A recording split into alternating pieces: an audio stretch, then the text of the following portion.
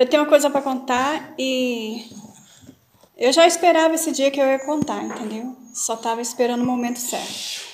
Tem uns 20 anos mais ou menos que eu não sei se foi um sonho, se Deus falou comigo, mas já tem isso tudo.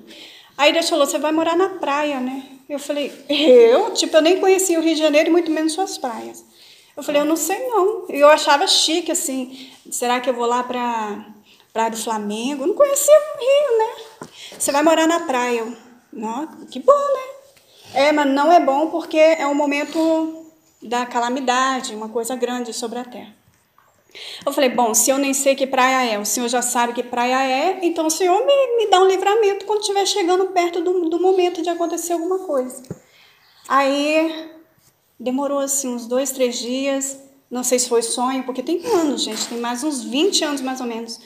Aí eu tive um, uma visão como se fosse um, um lugar nas montanhas com muitas árvores e tinha uma reunião de cristãos e teve um bolinho, era de noite, e depois uma pessoa botou um pedacinho de bolo na minha mão com guardanapo e eu me lembro de me concentrar muito no bolo, olhar para o bolo e comer o bolo.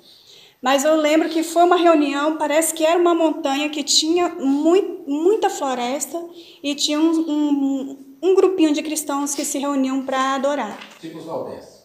Tipo nós mesmo aqui. tipo nós aqui.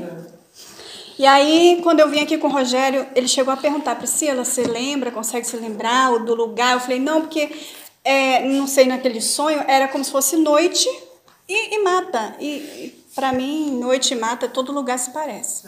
Mas eu sabia que, em um dado momento, alguns cristãos iriam se refugiar numa montanha, morar mesmo, cada um tinha sua casinha, não era assim um lugar fugido, e que a gente se reunia para orar, se reunia para adorar, entendeu? E eu tô vendo mais ou menos o que eu o que eu tive, é esse sonho, essa visão, não sei, porque tem muito tempo eu não sei, acontecendo mais ou menos aqui, entendeu?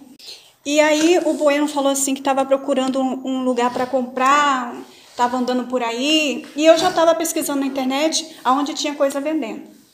E aí eu falei, já foi Aí ele, não, é bom? Eu falei, e é bom pra caraca. Meu pé nunca tinha botado aqui, eu nunca vi esse lugar. É bom pra caraca. Eu falei isso. Aí o Bueno veio, achou o lugar aí, eu não sei como foi a história dele, eu sei que comprou pra cá e ainda tinha o Marlon aqui. O- é. Aí depois eu vi que foi o Wallace, depois vieram vocês, aí a Marta, e daqui a, a- daqui a pouco a gente. E assim, era um local que eu nunca vi, que eu nunca imaginei, eu só falei na cabeça do Bueno esse nome, não sei nem se ele lembra Parece que disso. Você tinha estado lá, né? Parece que eu já tinha estado lá. Aí, assim, eu acho que, não sei, parece que, que já estava escrito no, no livro de Papai do Céu, né? Todos os meus dias foram escritos no seu livro. Alguma coisa já estava escrito lá, entendeu? Ah, tá. E aqui, eu ajoelhei nessa sala. Foi de joelho ou foi em pé, amor? Acho que foi no pé. É, peguei na mão do dono desse colégio, o ex-dono, é, fizemos uma oração e eu falei, Deus, eu sei que é aqui, eu sinto que é aqui, É, traz a gente para cá. E o dono, eu nem sei se aquele homem é cristão ou não, pegou na nossa mão, Joel, né? Fez uma oração com a gente aqui, nessa sala. Não foi sonho não, isso foi de verdade, esses dias. Antes de vocês comprarem. antes de vocês comprarem. Então, assim, é, e Deus abriu a porta lá com o Bueno. A gente veio tantas vezes, a gente perdeu tantas viagens, a gente andou tanto à toa, a gente estrambelhou tanto o carro. É, não, a gente foi em locais em que não achava a fazenda, não achava a pessoa. Esse ator aí não levou, né? Foi levou a outra, né? Foi levando. É, mas fo- foram muitas viagens perdidas, eu e Rogério, entendeu? E a gente subindo um monte, todo sábado à tarde ou em oração por isso. E a gente ainda continua nesse propósito, né? Porque se chegamos até aqui, Deus vai completar a obra. Não, o, o que eu peço a Deus é o que é o que vocês todos pedem, né? Para que Deus abra as portas, para que a gente cumpra com os nossos nossos compromissos Ser fiel. né? e, e que se cumpra os propósitos de Deus. Só isso. Amém. 20 anos atrás, né?